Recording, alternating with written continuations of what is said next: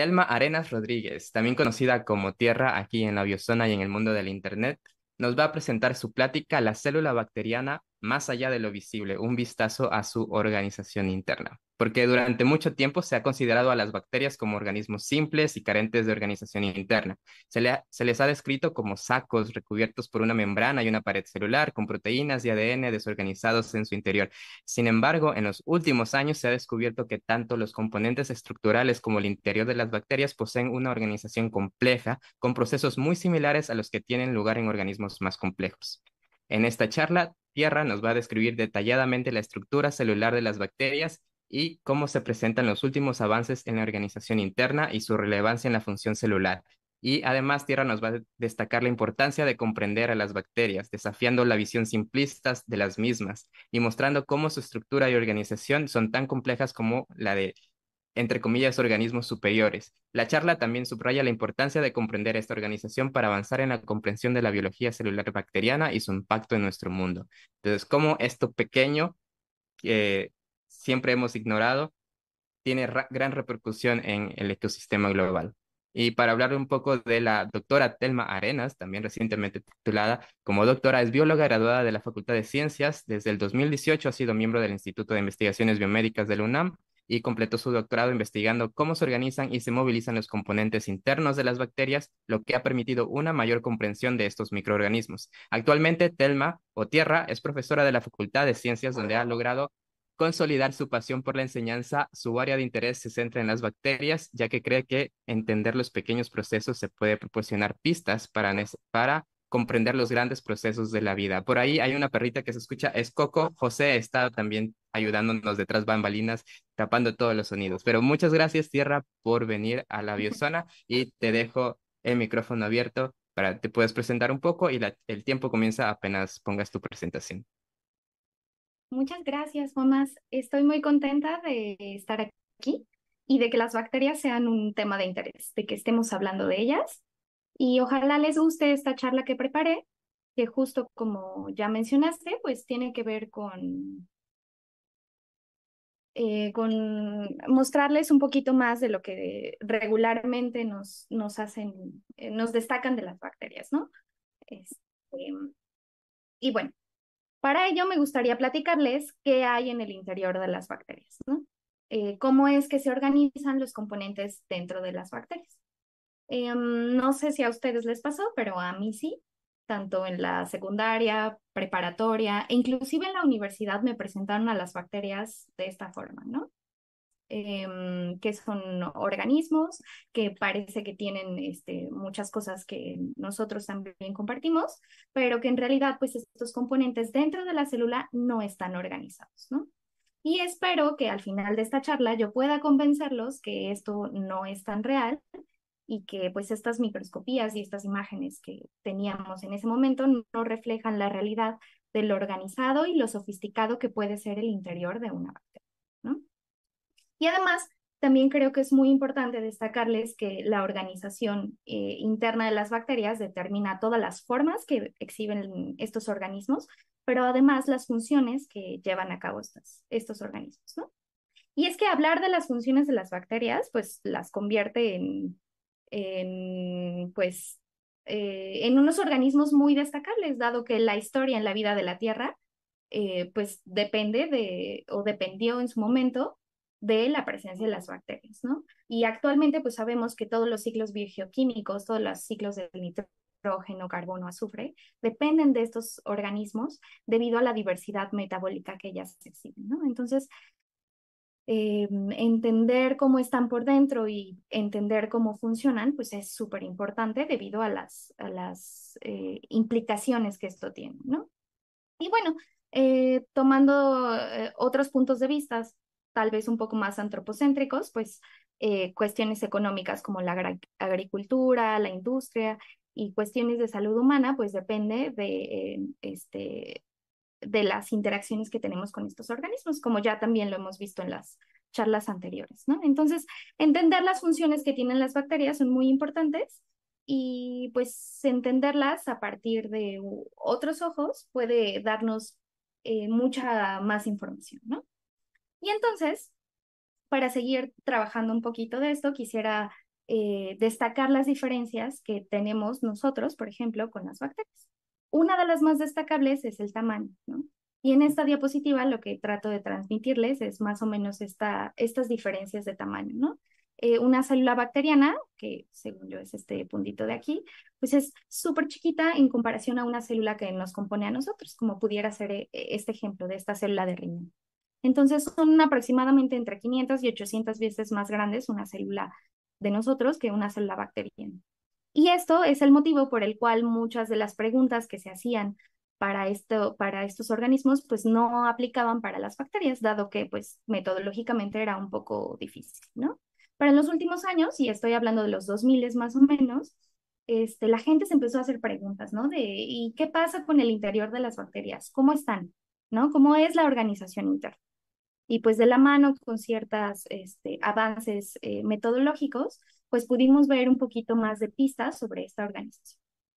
Entonces, em, una célula bacteriana, si yo la recorto y la veo en el microscopio, puedo tener una imagen muy similar a esta que les muestro aquí en donde pues podemos ver que es una célula que está recubierta por una envoltura y que al parecer pues no tiene nada más que contarnos, ¿no? Parece que no tiene compartimentos, que no tiene otras cosas más destacables, a diferencia de una célula eucarionte.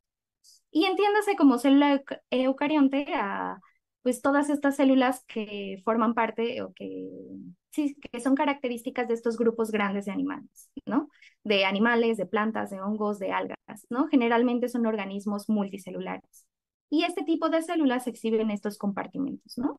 Y pues a, ojo pareciera que las células eucariontes pues tienen un poquito más de, de compartimentos, más especialización y pareciera que son un poquito más complejas, ¿no?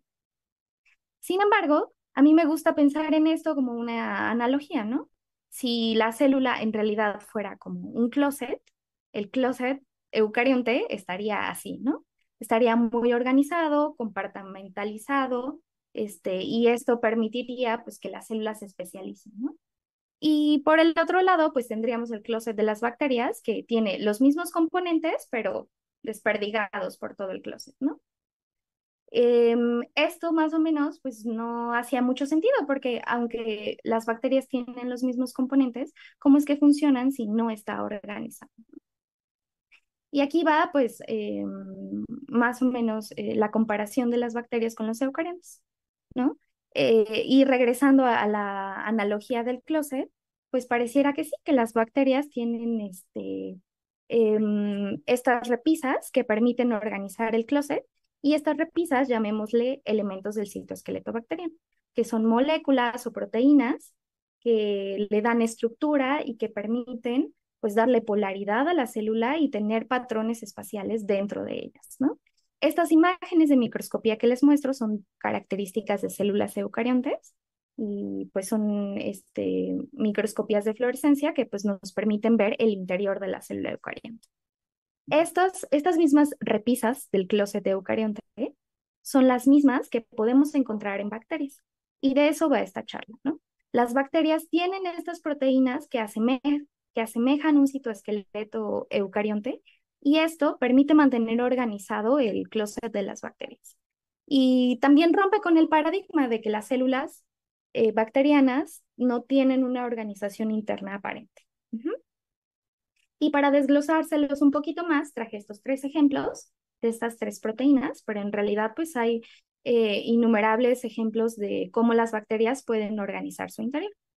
Entonces, son tres proteínas que están relacionadas a funciones diferentes, ¿no? Y además, lo, eh, de, lo, de las cosas más destacables es que estas tres proteínas exhiben patrones espaciales diferentes. Para el caso de MRB, la vemos localizada en manchones o puntos discretos, la crecentina está ubicada en un polo de la célula y es siempre el, eh, en un, no polo, perdón, en un extremo de la célula y FTCZ siempre está a la mitad. Estos patrones especial, espaciales eh, diferentes tienen que ver con las funciones de las proteínas. Por ejemplo, para el caso de MRB, su función dentro de la célula está relacionada al crecimiento y un poco a la forma, igual la crecentina, ¿no? Eh, en su ausencia, pues podemos ver que las células pierden esta forma en, eh, forma de C. Y para el caso de FTCZ, que se sabe que su función tiene que ver con la división, pues también en su ausencia las células no pueden dividirse. Estas tres proteínas se parecen muchísimo a tres proteínas del citoesqueleto bacteriano. MRB es eh, homóloga a la actina eucarionte. Y nada más para recordarles, la actina tiene que ver con contracciones musculares. Es una de las cosas por las cuales más este, se caracteriza. Los filamentos intermedios son proteínas fibrosas que permiten hacer eh, em, este tipo de estructuras en el cabello, ¿no? Estos, eh, la gente rizada tiene tiene este, esta, estos patrones y es debido a proteínas de tipo de filamento intermedio. Y la tubulina, pues es una proteína muy importante en los eucariontes que permite que las células se dividan correctamente. entonces les voy a contar un poquito más de estas proteínas que permiten ser las, las repisas que arreglan esta célula este, bacteriana. Entonces, FTCZ siempre se localiza a mitad de la célula y tiene mecanismos moleculares muy específicos que la guían hasta este sitio. Esta de aquí, por ejemplo, es una reconstrucción de cómo se organiza esta proteína o esta molécula. Esta molécula se sabe que se agrupa y que forma un anillo siempre a mitad de la célula. Y adicionalmente, este, les traigo un video en donde se ve la dinámica de la localización de FTCZ, ¿no? Entonces, al momento de dividirse se localiza la mitad, pero esta proteína también este, eh, cambia su patrón espacial cuando ésta se divide. Y esto lo hace muy rápido, porque responde a las necesidades de las bacterias, que es una división rápida. En su ausencia, podemos ver que las células pierden su forma debido a que ya no se están dividiendo y eventualmente pues están condenadas a la muerte, ¿no? FTCZ es una proteína esencial para las bacterias y está conservada prácticamente en todos los organismos. Eh, por otro lado, quisiera platicarles sobre MRB, que es una proteína que quedamos que se parecía a la actina eucarionte.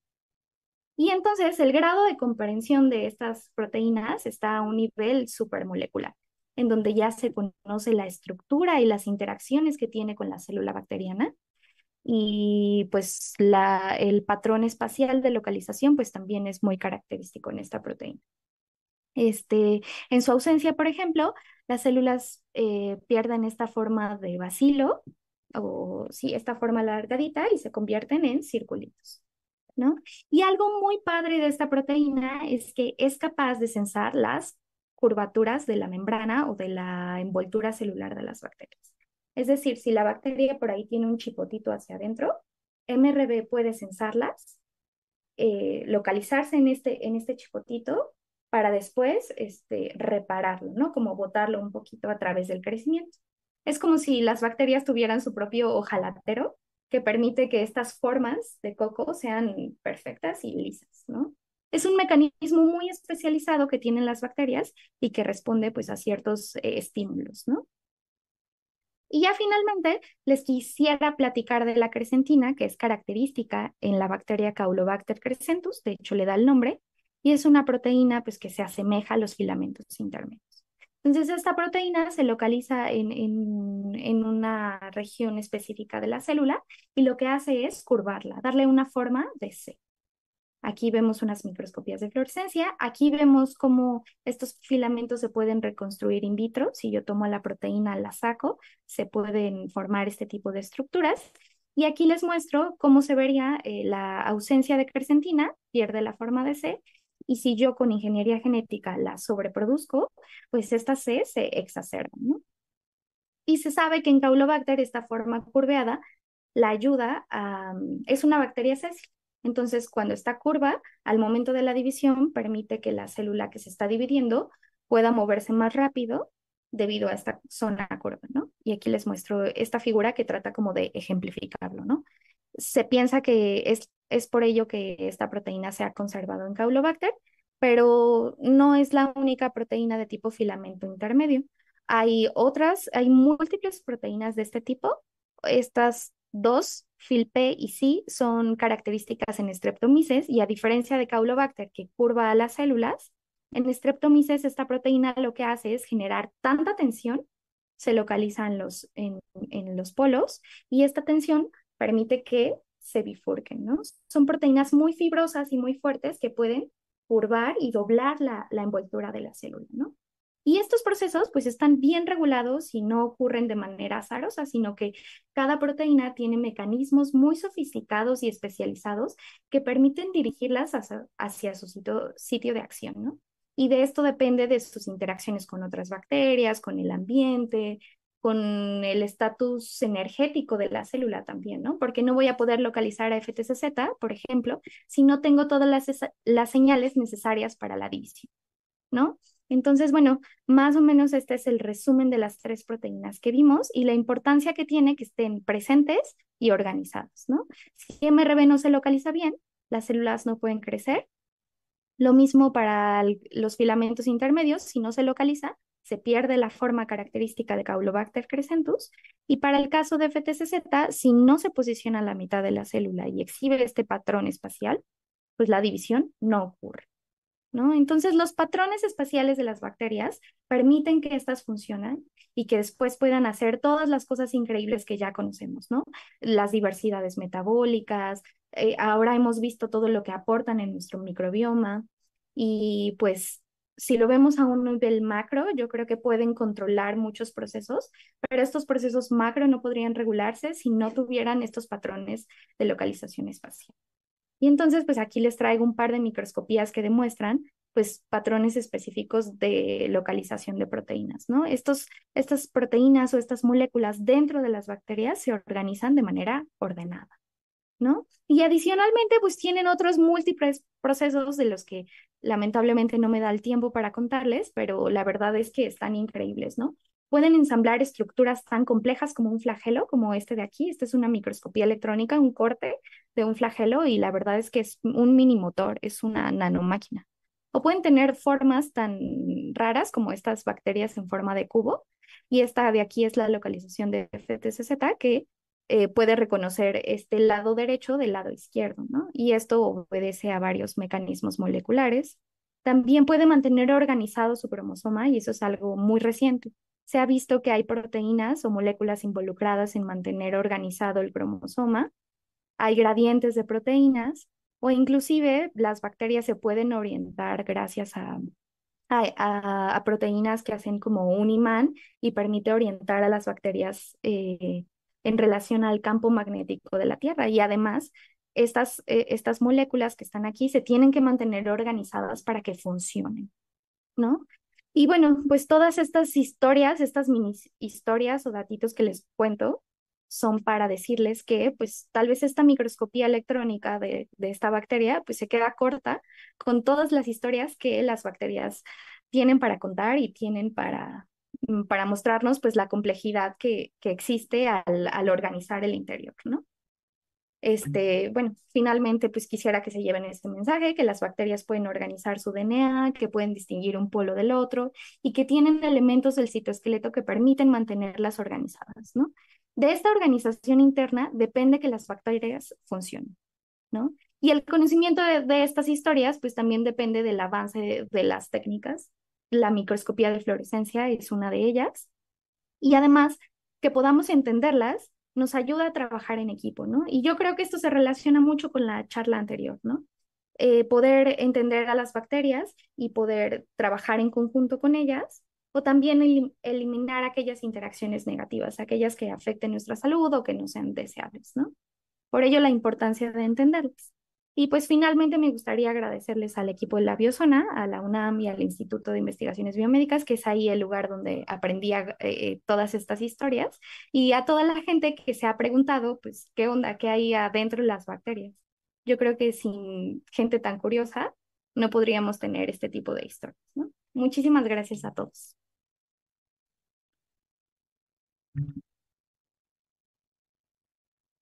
Muchas gracias, Tierra. Voy a ver si estoy Spotlight, me voy a poner para que me puedan ver. Y esperando el, el lag para ver si ya me veo bien. Pero bueno, muchas gracias. Está muy bonita la presentación. Los, el diagrama y la comparación con el closet me pareció muy didáctico y muy bueno. Una de las preguntas que no es que te quiera hacer, sino más bien te tengo que hacer porque yo como científico básico también tengo este conflicto que siempre te preguntan, ¿y eso para qué sirve? Y a mí no me gusta porque, o sea, siento que la ciencia básica va incluso antes que la ciencia aplicada, ambas son necesarias, pero se necesitan una a la otra. Entonces, te tengo que hacer esta pregunta. En las ah, pláticas anteriores vimos que tenía una repercusión directa en nuestra salud. En, en ese sentido, ¿por qué es importante que entendamos esto en un nivel, una escala de humanos eh, que tienen necesidades? Eh, yo creo que eh, de importancia tiene muchísima, pero por ejemplo, a mí se me salta ahorita que mm, ahora que estábamos hablando de las superbacterias, que entiéndase superbacterias como aquellas que son multiresistentes a varios antibióticos, entender cómo puedes bloquear su crecimiento, pues te da nuevas eh, proteínas para blancos terapéuticos, por ejemplo, nuevos fármacos.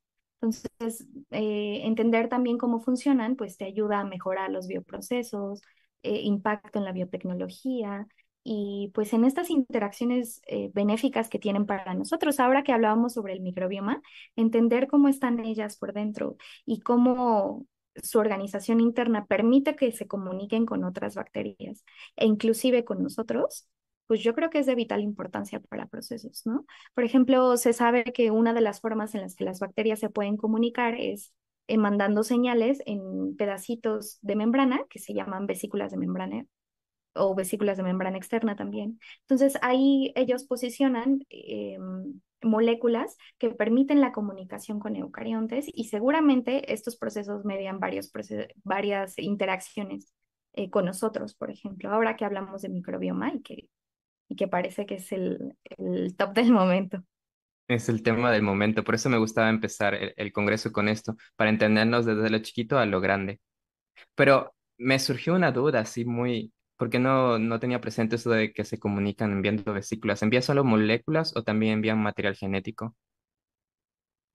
Eh, también en, tam, en, estas vesículas pueden haber proteínas, lípidos, eh, DNA, este, las cargan dependiendo lo que quieran comunicar, ¿no? Por ejemplo, en bacterias patógenas se sabe que muchos factores de virulencia están contenidas en estas vesículas y que, la, y que se carguen correctamente estas vesículas depende de la infección de las bacterias. Wow. Entonces se comunican a un nivel que no podemos, estamos apenas empezando a comprender. Esto me salta porque los virus son un misterio todavía, empezábamos con virus y una de las hipótesis es que se pudieron escapar de otros genomas y empezar a, andar por así, a andar libres por ahí. Entonces puede que una, algunos virus hayan salido de estas vesículas, no se sabe, pero bueno, es, es especulación. Seguramente es una forma muy eficiente de transportar cosas, ¿no? Porque además pues tienes ahí las vesículas oscilando por el mundo y siendo libres y pues pueden viajar muchísimo, ¿no? Adrián Martínez dice que padre foro, gracias por hacer esto posible. Andrés Gutiérrez dice muy padre tu presentación, me ayudó mucho para entender el comportamiento de las bacterias. Gracias. Veíamos un video que me, me impresionó mucho, poder ver estas cosas. Bueno, quizás ya estás acostumbrada, no sé si, si te sigue causando impacto, pero poder ver videos de cuál es el time lapse, o sea, en cuánto tiempo ocurren esos cambios, porque lo estamos viendo súper acelerado, ¿no? Sí, la verdad es que las bacterias son muy amigables en ese sentido. Entonces, por ejemplo, mm, para el caso de coli, en media hora ya tienes una división, ¿no? En caso de tres horas ya tengo el video que les mostré. Entonces, eh, la verdad es que metodológicamente es muy, muy amigable trabajar con, con estas bacterias. Entonces, trabajaste con Caulobacter y con E. coli. principalmente Caulobacter. Que son los organismos modelo para la biología celular. Sí, se escucha mucho de E. coli, pero nos das un poco de contexto de Caulobacter. Te he escuchado hablar maravillas de Caulobacter y de, sus modos de vida. No sé si nos quieres contar un poco sobre Caulobacter, que es una bacteria Caulobacter, sí, es un modelo de estudio por un chorro de cosas, pero una de las cosas por las que es más reconocida es porque tiene diferenciación celular. Y esta característica se ha acuñado principalmente a células eucariontes pero, la, pero Caulobacter tiene la posibilidad de pasar de un tipo celular a otro. Para poder dividirse tiene que hacer esta transición y se conoce bastante bien cuáles son los mecanismos moleculares y celulares involucrados en esta diferenciación. Y además, pues también este tipo de experimentos o este tipo de preguntas de cómo se movilizan las cosas en el interior, pues las facilitan si tú ya sabes quién es la mamá y quién es la hija. Bien. ¿Y cómo llegaste tú a Caulobacter? Eh, am, la verdad es que aquí en México no hay muchos grupos que hagan biología celular de bacterias. La biología celular se remonta casi siempre a eucariontes. Entonces, pues el grupo de trabajo que existía aquí eh, hacía Caulobacter y entonces, pues más bien creo que Caulobacter llegó a mí y no al revés. Caulobacter llegó a ti. Bien, el futuro, ¿cómo ves el futuro en esas áreas? ¿Queda mucho por hacer? Si quiero dedicarme a esto, es buen momento. Yo creo que es el mejor momento porque además la microscopía de fluorescencia está así, en crecimiento. Y hago mucho hincapié en la microscopía de fluorescencia porque es de las principales herramientas que tenemos o que nos han ayudado a vislumbrar un poquito más eh, el interior de las bacterias.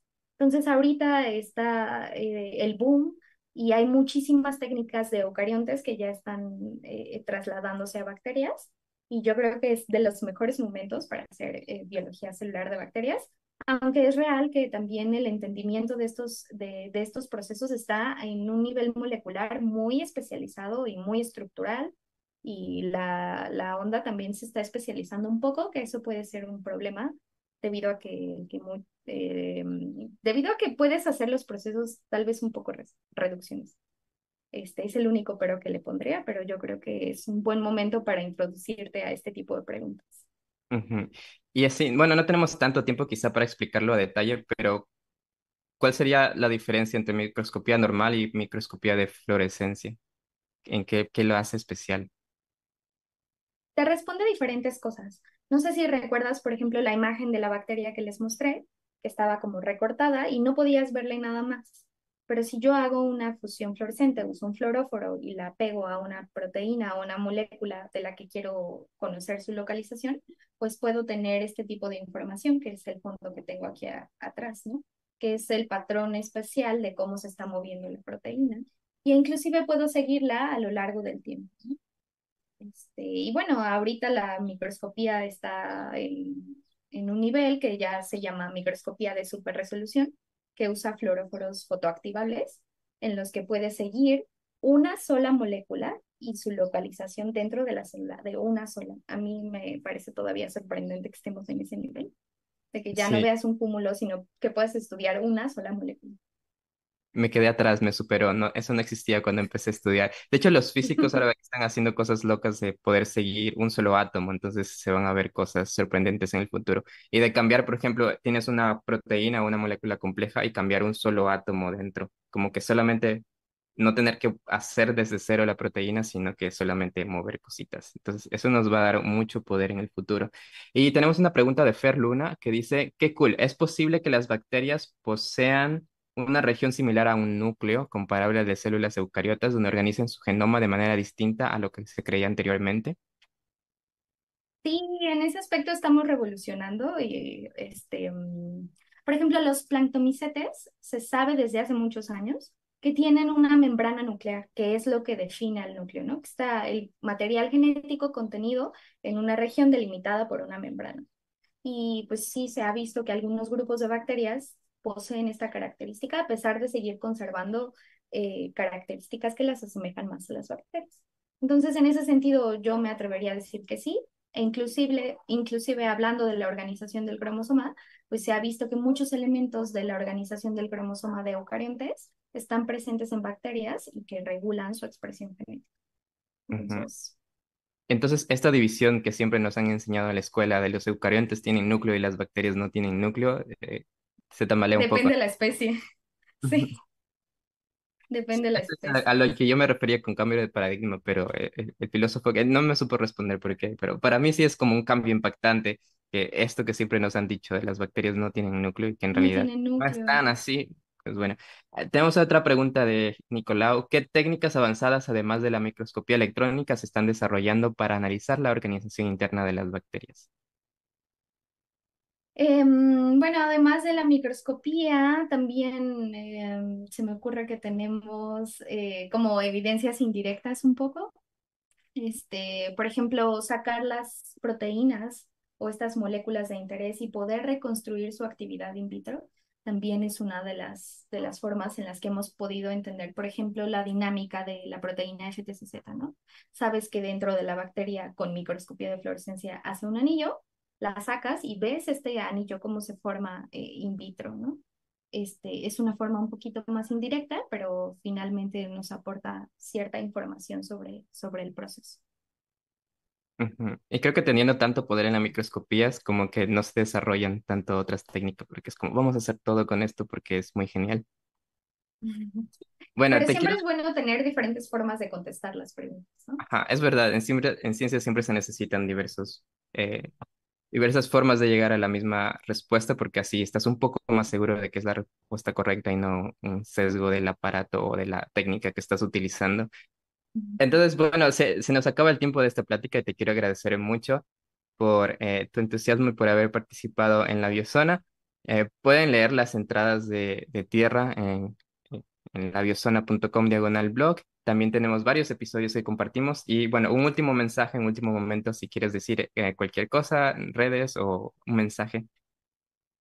Ay, muchísimas gracias al equipo de la Biozona. La verdad es que estos espacios hacen, eh, hace mucha falta este tipo de espacios. Les agradezco que, que hagan este lugar para nosotros y a todos ustedes por estarnos escuchando. Estamos muy felices de compartirles lo que más amamos en la vida. Muchas gracias. Gracias. Y mientras